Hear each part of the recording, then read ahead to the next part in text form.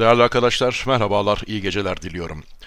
Ee, evet sevgili dostlar, söz verdiğim üzere e, Sasa analiziyle birlikteyiz. E, bundan böyle her hafta iki adet hissenin analizini yapacağımı, ayrıntılı bir şekilde konunun teknik, takas ve nasıl bir strateji uygulanmalı, izlenmeli yönünden e, ele alınacağını ifade etmiştim. Bu konuda arkadaşlar taleplerinizi yorum bölümüne lütfen yazınız. E, çoğunluk arz eden e, talepleri mutlak surette değerlendirmeye çalışacağım. Evet arkadaşlar, e, Sasa Galatasaray neden Sasa çok fazla sorulan bir hisse olması münasebetiyle. E, zira Sasa olumlu bir bilanço açıklamıştı. Bu birçok şirket tarafından da açıklandı ama hiçbir şirket veya hiçbir şirket demeyelim de çok az şirket bilançonun ardından e, böylesine önemli hareketlilikler yaşıyor veya öncesinde belli bir miktar hareket yaşadıktan sonra beklenti bitti tablosu gündeme gelebiliyor. Ama biz Sasa'ya bakıyoruz. Sasa e, haftayı %33.27'lik bir prim ile tamamlamış durumda. Bir hafta haftada bu orandaki bir prim gerçekten önemli.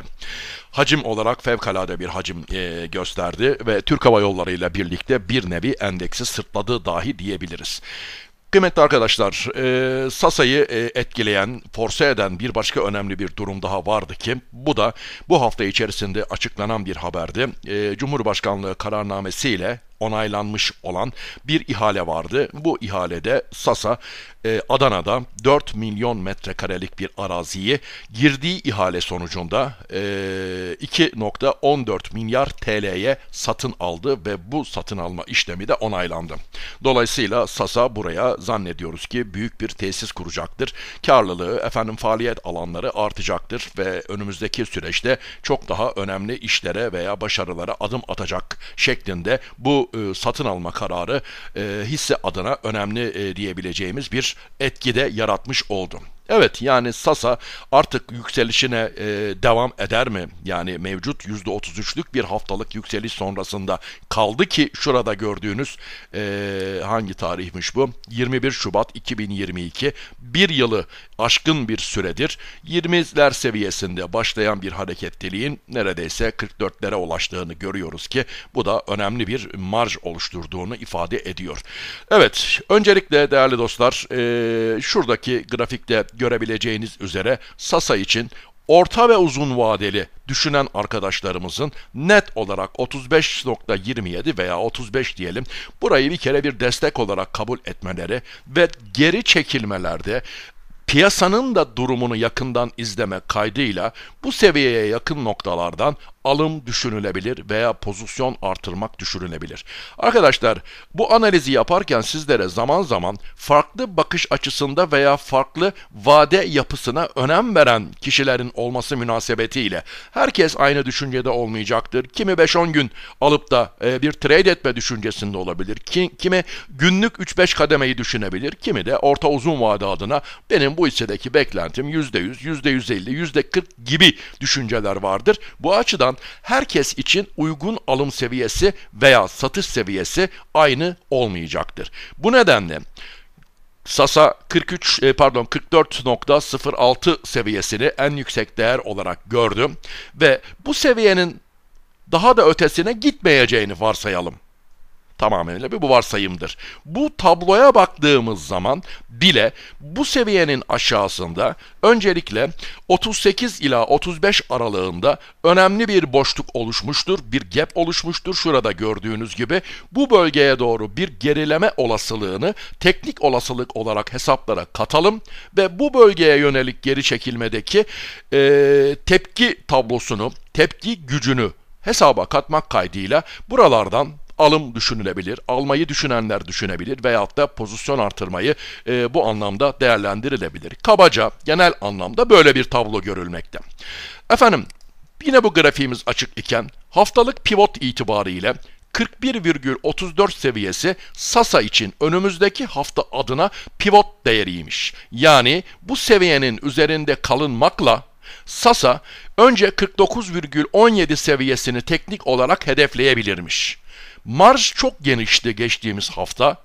En düşükle en yüksek seviye kapanış seviyesi, açılış seviyeleri bu rakamlar arasındaki marj büyük olduğu için dolayısıyla volatilitenin de yüksekliğini hesaba kattığımız zaman destek ve de direnç olarak hedef veyahut da düşebilecek noktadaki destek noktaları veya çıkabileceği noktadaki direnç noktaları olarak adlandırabileceğimiz seviyelerde biraz ucu açık olabiliyor. Bunu özellikle belirtiyorum. Dolayısıyla bu hafta için 41.34 seviyesi stop loss olmak kaydı ile bu seviye üzerinde kalındıkça 44,17 Burası da geçilir ise 51-52 seviyesi diyelim. Bu seviyelerin hedef olabileceğini ama teknik anlamda hedef olabileceğini dikkate alalım. 41-34'ün aşağısına gelinir. Bu seviye aşağısında satışlar yoğunlaşabilir işte bu durumda 38,63 ve 30,80 seviyesi görülüyor. Ancak ne dedik? Şurada 35 ila 38 aralığında ki 38,63 değerini buradan hemen okuyabiliyorum. Bu aralıkta bir tampon bölge oluşabilir. Buradaki gap'in e, fiyat boşluğunun e, tamamlanması e, adına 38,65 63 bölgesinden veya oradan biraz daha aşağı sarkmalar olsa bile bir tepkiyle yeniden 40 seviyesine doğru bir yönelim gelebileceğini de hesaplara katalım. Çünkü ciddi miktarda alım yapmış olanlar durdurak bilmeksizin satmak yerine biraz kafa karıştırmayı düşünürler. Bir miktar satış yaparlar ardından 5-10 kademe aşağıdan tekrardan alırlar. 10 birim satarlar, örnek veriyorum 3 birim alırlar. O 3 birimi niye alırlar? Kar etmek için değil. Sadece hissedeki hızlı geri çekilmeyi engellemek adına alabilirler. Bunu bir taktik olarak uygulayabilirler. Dolayısıyla e, dalgalanmaların devamı sürecinde İnişler ve çıkışlar, kafa karıştırıcı işlemler, tamam şimdi artık tepki buldu, şimdi oraya buraya gidebilir şeklinde bir beklentiyi oluşturup yine hiç beklenmedik bir anda e, satış gelebilir. Bu durumlar dikkate alınmalı ki biz bir anda heyecana kapılıp da yanlış işlem yapmış olmayalım. Değerli arkadaşlar, görmekte olduğunuz iki tane beyaz zeminde tablo var. Birincisi Sasa'nın cuma gününe ilişkin olan ka e, kademe analiz tablosudur. Kademe analizi yani hangi fiyat kademesinde ne miktarda alım ve satım olduğunu gösterir ve bu bize bir manada da alış ve satışların nerede yoğunlaştığını, alıcılarla satıcıların nerede boğuşmaya başladıklarını yani desteğin ve de direncin nerede oluştuğunu da yansıtır bir manada. İşte 43.90 seviyesi kapanış e, değerimiz. Bu seviyede e, özür diliyorum kapanış değerimiz e, şöyle yaparsam evet 43.90 doğrudur. Hemen bu tabloları ön plana alalım biz yine. 43.90 seviyesinde kapanış noktasında bir çaba oluşmuş. Oluşan bu çaba bu seviyede alıcılar ve satıcıların e, hatta alıcıların biraz daha ön planda olduğunu 43.90'dan alım yapma çabasının biraz daha ön planda olduğunu görüyoruz. Mavi e, grafiğimizdeki yoğunluk biraz daha fazla veyahut da e, alışa bakıyoruz bu kademeden 1 milyon 3 adet ama satış 564 bin adet şeklinde. Biraz geriye geliyorum ve geriye geldiğim zaman ise şurada arkadaşlar 42,60 seviyesinde bakın diğer kademeler işlemlerde çok yüksek işlemler geçmemiş az önce ifade etmiş olduğum seviyeye göre ama şurada arkadaşlar 42.66 1 milyon 82, 42 64, 1 milyon 298 ve 42 60. O halde 42 60, 42 70 aralığında da Cuma günü itibariyle alıcılar ve satıcılar arasında bir boğuşma yaşanmış. E, birbirlerine üstünlük sağlama noktasında bir çaba oluşmuş. O halde arkadaşlar burayı da e, anlık yaşanan işlemler itibariyle bir olası geri çekilmede destek bölgesi olarak düşünebiliriz. Yani 42-60-42-70 bölgesine doğru geri çekilmeler sonrasında bir tepki oluşabilir. Ama bu tepki kağıdı 50'ye 100'e götürmek adına bir tepki olarak demiyorum. Sadece cuma gününün işlemlerini dikkate aldım. Bu bölgede maliyetlenmekte olan alıcıların varlığını dikkate aldık. Bu bölgede bir maliyetlenme varsa bu bölgenin üzerinde %3-5 her neyse bir kar elde ederek satış yapmayı düşüneceklerdir. Bu husus bu açıdan önem arz etmekte. Evet arkadaşlar arkadaşlar Sasa aslında çok derin bir kağıt değil. Yani kademelerine baktığımız zaman her ne kadar kapanış sonrasını ifade ediyor olsa da bu rakamları doğru kabul etmek e, mümkün olmasa da Sasa genel anlamda kademelerinde öyle 100 bin, 300 bin, 500 bin civarında yüksek lotlu emirlerin bulunduğu e, ve emir zenginliğini kademe zenginliğine yansıtacak şekilde bir tablonun olduğunu ifade edemeyeceğimiz bir kağıttır. Evet ucuz bir kağıt değildir. 40'lı seviyelerde olan bir kağıttır olacaktır ama X birisi gelip de 5000, 10000 e, alım yapmak suretiyle ardından da benzer alımların yapılması suretiyle çok hızlı bir şekilde 2, 3, 4, 5 kademe hareketlenebiliyor. Kademeler çok kolay kalkıyor. Bir işte Kardemir gibi, bir Türk Hava Yolları gibi veya farklı bir kağıt gibi e, kademelerde çok yoğun emirler olmaması, e, pardon, e, evet çok yoğun emirler olmaması gereğince e, o kademeyi bir tek kişinin bile çok rahat bir şekilde defalarca kaldırabildiğine tanık olabiliriz. Bu açıdan hareketli bir kağıttır. Heyecanı yüksek bir kağıttır. Bu durumu da dikkate alalım. Bu arada Cuma günü itibariyle %9.20'lik prim yaptığını da dikkate almakta yarar bulunuyor. Peki efendim, buralardan ayrılıyorum şimdi ve kağıttaki olası durumlar teknik olarak ne olabilir? Öncelikle değerli arkadaşlar, teknik duruma geçmeden önce şurada arkadaşlar sağ alt tarafta gördüğünüz gibi son fiyat, ortalama hedef, potansiyel kar şeklinde bir e, tablo bulunuyor veya bir bilgilendirme bulunuyor. Matrix programının e, bir e, sistemidir bu. Diyor ki son fiyat 43.90, bu kağıdın ortalama hedefi 48,56 diyor. Yani bu kağıt hakkında 1, 3, 5, kaç kurum öneride bulunduysa, bir e, analiz yaptıysa bu kağıda 48,56'lık bir ortalama hedef biçmişler ve kağıdın potansiyel karı da son kapanışına göre %10 civarındaymış. Bu tabloya biraz sonra yabancı takasıyla alakalı olarak döneceğim. Ama bu kağıtla ilgili olarak sevgili arkadaşlar, öncelikle evet yani bu kadar prim yaptı bu kağıt, ben bunu almaya geç kaldım diyoruz. Veya elimizde bu kağıttan var. Nerede satmalıyım? Arkadaşlar alma hususunda ve satma hususunda belli stratejiler vardır. Farklı farklı stratejiler, farklı farklı yöntemler vardır. Kimi kişi A göstergesini, kimi kişi kendince oluşturduğu veya bir başka arkadaşının tanıdığının e, izlemiş olduğu al-sat sinyali üreten bir formülü kullanır. Bunu 60 dakika olarak kullanır, 120 dakika olarak kullanır. Bu yatırım zihniyetiyle alakalı olan bir şeydir. Dolayısıyla şuradan almak en doğru, buradan satmak en doğru tarzında %100 doğru sonuçları veren bir sistem yok. Ama hiçbir sistem takip etmeyip de nasıl olsa yükseliyor. Efendim Twitter'da bilmem kim hoca dedi ki kağıt 70 olacak. O bir bilmem kim hoca dedi ki kağıt 100 olacak. İşte böyle e, afaki bilgilerle hareket etmek yerine kağıtta bize veya Sasa hissesinde diyelim bize satış zamanının geldiğini veya alım zamanının yaklaştığını ifade eden bir takım göstergelerimiz olmalı. Sizlere borsapivot.com isimli sitede gerek pivot ve gerekse de teknik analiz sinyalleri adı altında tamamen teknik kriterlere bağlı olarak al ve de sat sinyali üretmekte olan bir takım sonuçlar yayınlanıyor. Şimdi ben sizlere arkadaşlar Sasa hissesi özelinde analiz konumuz bu olduğu için teknik sinyalimiz ne zaman al demiş ve ne kadar zamandır bu sistem içerisinde ve yüzde kaçlık bir başarı oranı sağlamış. Sistemin teknik analiz sinyallerini bölümüne geliyorum. Hemen kısa vadeli göstergelerin mevcut bulunduğu pardon ee, yanlış yazdım arkadaşlar ismi.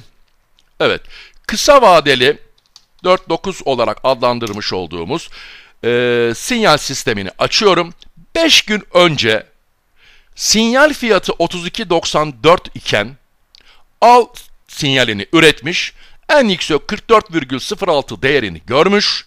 Pivot seviyesi son olarak 43.04 Kapanış 43.90. Şimdi bu tabloya baktığım zaman 1. Haftalık pivotunun üzerinde kapanış yaptı mı? Yaptı. Az önce dedik ki haftalık pivot seviyesini bir e, stop loss gibi de düşünebiliriz. Bu seviyenin aşağısına inilir ise gerileme 38 ve hatta fiyat boşluğunun oluştuğu 35 bölgesi ne kadar devam edebilir bir kar realizasyonu aşamasında. Günlük bazda konuya baktığımız zaman ise 43.04 pivot seviyemiz pazartesi günü için ve 43.90'lık kapanışla olumlu bir kapanış yapmış. 5 gündür al sinyalinde bu sinyal devam ediyor. Son kapanışa göre %33,27, maksimum getiri olarak ise en yüksek değeri 43.04 olmakla da 33,76'lık bir prim yaratmış bu sinyalin oluştuğu günden itibaren. Peki biz biraz daha orta vadeli bir yatırımcı sıfatına haiz isek veya bir haftalık, iki haftalık gibi süreci düşünüyorsak bu durumda arkadaşlar 7-21 hareketli ortalama prensiplerine baktığımız zaman karşımıza ne çıkıyor? Burada da yine 5 gün önce bu sinyal oluşmuş. Hay hay benzer sonuçlar oluşabilir hızlı hareketlilikler olduğu zaman. Peki bir de Golden Cross dediğimiz e, ve Golden Cross kadar değerli buldum diyeyim ben daha doğrusu. E, bir başka hareketli ortalama detayına gelelim. Ve buradayız arkadaşlar. Biraz daha orta uzun vadeli yatırımcıların dikkate almasında yarar gördüğüm bir sinyaldir. Diyor ki 59 gün önce 25,38 seviyesinden al sinyali oluşmuş ve 59 günlük süre içerisinde malumunuz 44,06 değerini görüyor. 43.04 pivot seviyesi ve 43.90'la kapanıyor. Bu süre içerisinde yani 2 aylık bir süre içerisinde veya 2 aylık işlem gününde %73 civarında bir karlılık yaratmış. Bu sinyali, bu sistemi takip etmiş olan kişiler için diyelim. Evet arkadaşlar şimdi bu açıdan da baktığımız zaman kısa vadeli teknik göstergelerde olumlu konumda. Bu yönüyle de bir artı veriyorum. Geliyorum arkadaşlar para giriş detaylarına. Para giriş detaylarına baktığım zaman ise son 5 gündeki para girişine bakmak istiyorum. Yine borsapivot.com'un ilgili para giriş bölümünü tıkladığım zaman Sasa diyorum ve Sasa'nın bana para giriş verileri geliyor. Son 5 günde hisseye 93,372 milyon TL para girişi olmuş. Son gün 13,5 milyon, işte bir gün önce 36,8, 25,2, 22 gibi para girişi adına da hissede ee, olumlu bir seyir var veya hissenin olumlu seyri para girişiyle de desteklenmeye devam ediyor. Cuma günü bir ara para çıkışı oluşmaya başlamıştı ama bahsettiğim gibi 42-60 ile 70 bölgesinden gelen yeni alıcılar bir şekilde kağıtta para girişiyle e, günü ve haftayı tamamlamış e, tamamlamasına sebebiyet vermiş oldu. Peki 10 gün itibariyle acaba e, para giriş ve çıkış durumunun ne olduğunu ben bir de ona bakalım diye düşünüyorum. Ee, hemen yine Sasa diyorum. Evet. Son 10 gün itibariyle ise ismini yanlış yazdığım için evet şimdi oldu. Evet son 10 gün itibariyle de 114 milyonluk 115 milyonluk bir para girişi varmış. Demek ki para girişi son 5 gün itibariyle hız kazanmış durumda sevgili dostlar. Peki arkadaşlar şimdi bu noktada bir de takasa bakalım isterseniz teknik detaylara geçmeden ondan sonra tamamen teknik konuşalım. Şimdi arkadaşlar şu göreceğiniz tabloda orta bölümde son yabancı aşağılarda son yabancı payı %2,30 diyor. Kağıdın toplam yabancılar adına e, takas yapısında 2.30'luk %2.30'luk yabancı ilgisi varmış. Haftalık yabancı takasındaki değişim %18,80, Aylık değişim ise %81,72'ymiş. Yani bir aylık son 30 günlük süre içerisinde Sasa'ya yabancı ilgisinin var olduğunu görüyoruz. Peki arkadaşlar, Sasa'daki yabancı ilgisini rakamlandırmak istiyorum. Acaba Sasa'da yabancı ilgisi gerçek anlamda ne rakamlara haiz ve kimler tarafından? Evet 5 Mayıs tarihiyle Mayıs'ın başından itibaren almak istedim. Malumunuz Mayıs'ın başı tatildi. Bayram tatilimiz vardı. 5 Mayıs ile son gün arasındaki sürece baktığım zaman City yabancının takasına 10 milyon 155 bin adetlik bir mal gitmiş. Yani City yabancı takasını 10 milyon lot lottur bu arkadaşlar artırmış. Deutsche yabancıya bakıyorum. 1 milyon 239 240 bin lot takasını artırmış ve HSBC ise 390 400 bin e, lot civarında takasını artırmış durumda. Şimdi yabancı ilgisi var ve devam ediyor görünüyor. Yabancı açısından çok büyük bir payı var mı? Hakimiyeti var mı? Hayır, yabancının bu kağıtta büyük bir hakimiyeti yok. Neden yok arkadaşlar? Takas tabloma baktığım zaman hissenin dolaşımdaki hisse sayısının %48,37'si ak yatırımda, %17,9'u garanti yatırımda ve bu şekilde sıralama aşağı doğru iniyor. Burada ben yabancıları sıralamada göremiyorum çünkü %2,5'luk bir payları var. Ağırlık ak yatırım, çok normal Ak Yatırım veya Ak e, Banka veya Sabancı Holding'e bağlı bir şirket ve ikinci olarak vakıf yatırımı görüyorum. Şimdi arkadaşlar burada önemli bir husus var, bir kritik var. Bunu da bir eğitsel içerikmiş e, anlamında ifade edeyim. Gördüğünüz gibi Cuma günü itibariyle en çok satanlara baktığım zaman tacirler yatırımı görüyorum. 576 bin e, lot satmış. Efendim garanti yatırım 474 bin lot satmış. Garanti yatırım kim? Takas 3. sırasında yer alan bir kurum. Efendim TEB yatırım satmış. 455 bin lot satmış. TEB yatırım kim? Takas dördüncüsü konumunda elinde 37 bin lot ürün olan, hisse olan bir kurum. Tabii ki, tabii ki bu kadarlık bir satış miktarı çok büyük meblağ değildir. Yine Ak Yatırım 5. sırada 260 bin lot satmış. Evet elinde 500 milyon lot olan, 200 milyon lot olan, 60 milyon lot olan bir kurumun 300-500 bin satması önemli değil. Ama tabii kurum derken o kurumdaki yatırımcılar bazında konuşmak gerekiyor. Ee, aynı zamanda kurum fondakini mi sattı, yatırımcısının satışı mı bunu bilmiyoruz. Ama Burada dikkat etmemiz gereken unsur elinde yüklü miktarda mal bulundurmakta olan kurum veya o kurumla çalışmakta olan yatırımcıların yavaş yavaş satışları gözlenmeye başlamış. Çünkü yoğun olarak satış miktarına bakıp da bunlar kimdir diye sorguladığım zaman karşıma benim elinde çok üst düzeyde mal bulunduran ee, şirketler geliyor. Peki buradan ayrılmak suretiyle. Bakıyorum arkadaşlar, Cuma günü tacirler satmış, garanti tep satmış, kim almış? Global almış, yapı kredi ve şeker almış. Peki şöyle bir 4-5 günlük bir sürece bakalım. Örneğin ayın 20'sinden itibaren, 20 Mayıs, 23 Mayıs tarihinden itibaren ki sürece bakalım. Bu sürece baktığım zaman arkadaşlar, Bank of America'nın 8.2 milyonluk alımı var. Ve Bank of America yabancılara yönelik adım atmakta ve yabancıların da son günlerde e, alımlarında önemli farklılıklar olduğunu, ya artışlar olduğunu ifade etmiştik. Bunu biliyoruz. Ama şuradan arkadaşlar yabancının elinde bulundurmuş olduğu malı 23 Mayıs'la son güne eşleştirdiğim zaman Deutsche yabancının 373 bin lot satışta olduğunu, HSBC'nin 300 bin lot alımda olduğunu, City yabancının ise 3 milyon alımda olduğunu görüyorum ki buradan şöyle bir sonuç çıkabilir. Banko aldıklarının belki de Bankov diyorum. 3 milyonunu City yabancıya göndermiş olabilir. Veya bir başka kurum da City yabancıya eşdeğer bir şekilde taşeronluk yapmış olabilir ama Bankov'un elinde bariz bir şekilde yüklü alım bulunuyor. Burası önemli.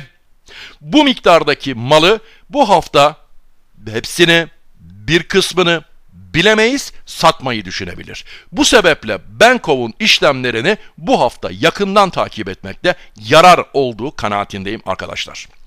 Evet, takas verilerinden de uzaklaştım. Şimdi değerli dostlar, gelelim teknik değerlere. Haftalık grafiğimiz arkadaşlar. Bu haftalık grafiğini farklı bir çizim metoduyla oluşturdum. 1,67 seviyelerinden başlamak suretiyle ee, kritik diyebileceğimiz önemli direnç noktalarını e, dikkate alarak bu çizimi yarattım ve çizimin tap noktası yukarıda. Dikkat ederseniz şu ana kadar görmediğimiz bir seviyede. O halde 48,65 seviyesi şu teknik resmi tamamlamak adına gelebilecek olan teknik bir hedef konumunda. Zira 49 seviyesini de biz ki buna da 49 diyelim artık pivot sistemlere gördük. Haftalık pivot değerimizin birinci pivot direncimizin 49 olduğunu gördük. O halde arkadaşlar burada çok net bir tablo var.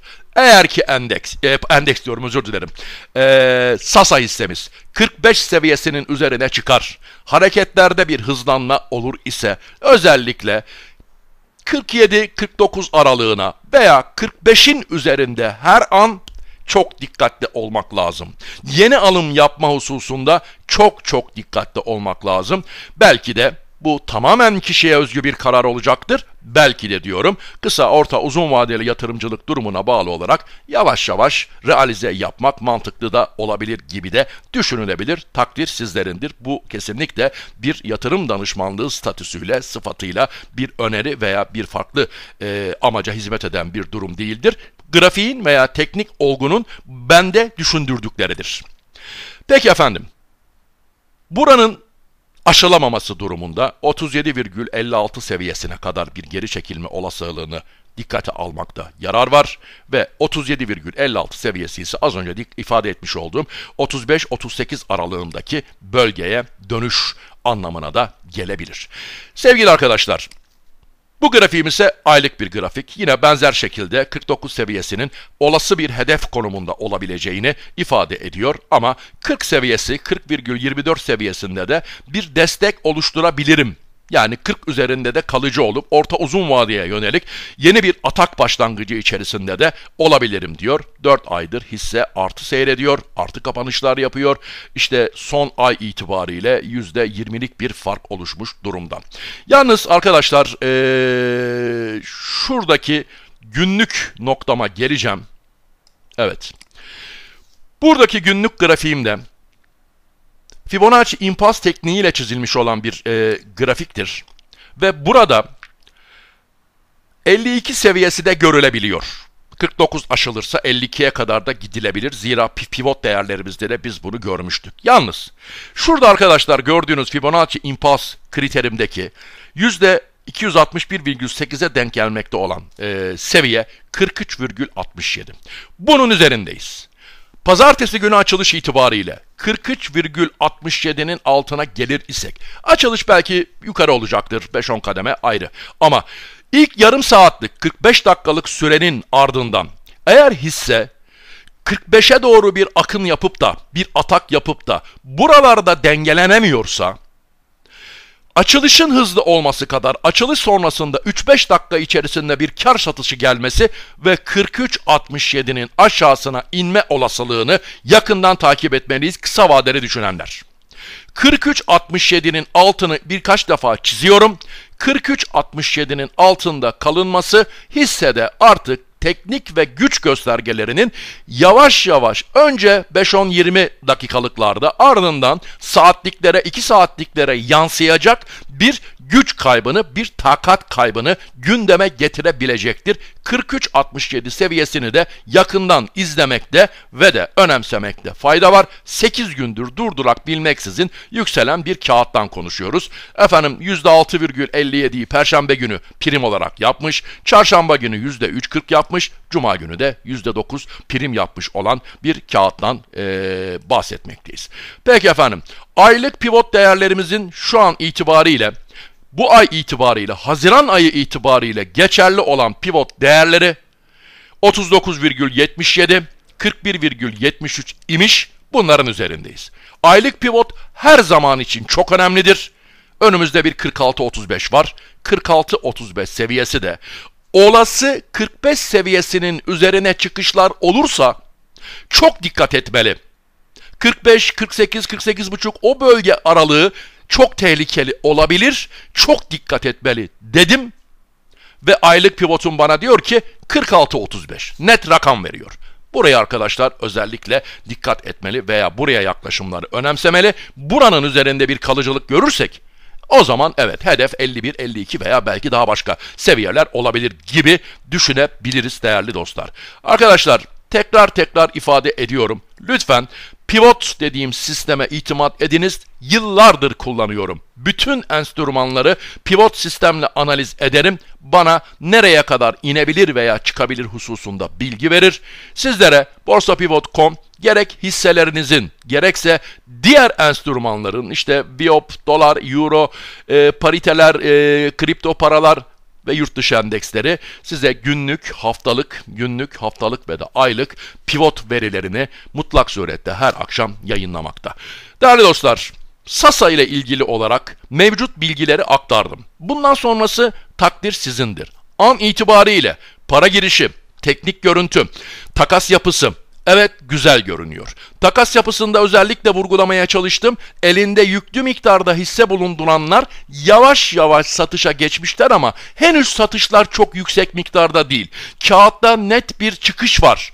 Kağıtta net bir yerli yabancı çıkışı, fon çıkışı var demek için erken. Ama bunun da bir an meselesi olduğunu biliyorsunuz. Bir anda güçlü kurumlardan birisinin yüklü miktarda bir satışa geçmesi domino etkisi yaratabilir. Bu sebeple birkaç ay içerisinde çok ciddi prim yapmış, bir haftada %33'lük prim yapmış olan bir hissenin 50'lere, 100'lere, 200'lere gidecek olsa bile durdurak bilmeksizin gitmeyeceğini, bir nefeslenme ihtiyacı hissedebileceğini, büyüklerin de alım için geç kalmış olan yatırımcıları da çekebilmek adına ellerindeki miktarın bir kısmını satarak bir alım fırsatı yaratabileceğine, bir kar alma süreci, sürecini de bu evrede yaşayabileceklerini lütfen hesaba katalım diyorum. Efendim, e, Zoom üzerinden bir eğitimimiz olacağını Twitter adresimden duyurmuştum. Lütfen e, bu hususta yayınlamış olduğum ankete cevap veriniz. Bilmek istiyorum katılım olacak mıdır, olmayacak mıdır? E, bu noktadaki yaklaşımlarınız benim için önemli. Bu sebeple arkadaşlar e, teşekkür hassasiyetinizi e, hafta içerisinde farklı farklı konularda seans içerisinde de aktaracağım çeşitli önemli ve kritik bilgilere yönelik ilginizi göstermek suretiyle de lütfen bana belirtiniz. Yani boşa mı konuşuyorum, doluya mı konuşuyorum, bir faydası oluyor mu, yararlanabilen var mı, sizler için ne, ifa ne anlam ifade ediyorum? Sanıyorum ki bunları bilmemek bir anlamda duvara karşı konuşmak gibi oluyor. Bu da benim heyecanımı ciddi şekilde e, yıpratıyor. Peki efendim, saygılarımı, selamlarımı arz ediyorum. Ee, önümüzdeki hafta içinde umuyorum ki sağlıklı ve kazançlı bir hafta olur. Ee, biraz daha ilerleyen anlarda biraz nefeslendikten sonra Sasa, e pardon Türk Hava Yolları analizi ve bir de Dolar TL diyeceğiz tabii. Efendim hoşçakalınız şimdilik.